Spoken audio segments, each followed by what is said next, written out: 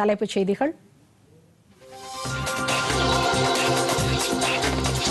தேசிய கொடி நாட்டின் ஒற்றுமை ஒருமைப்பாடு பன்முகத்தன்மையின் அடையாளம். சூரத் பேரணியில் பிரதமர் நரேந்திர மோடி பெருமிதம்.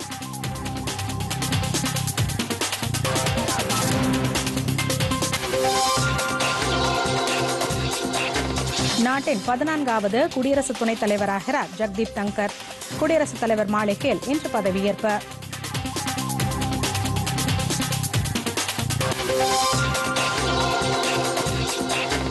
அனைவருக்கும் வீடு வழங்கும் பிரதமரின் நகர்ப்புற வீட்டு வசதி திட்டம் இரண்டாயிரத்தி இருபத்தி நான்கு டிசம்பர் மாதம் வரை நீட்டிப்பு. மத்திய அமைச்சரவை ஒப்புதல்.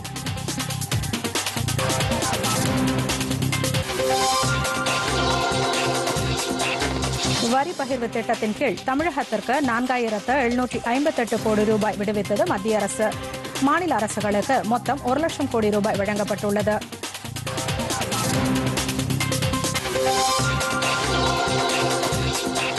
போதை ஒழிப்பு உறுதிமொழி ஏற்கும் நிகழ்ச்சி. முதலமைச்சர் மு க ஸ்டாலின் பங்கேற்பு. போதைப் பொருள் இல்லாத தமிழ்நாடு திட்டம் தொடக்கம்.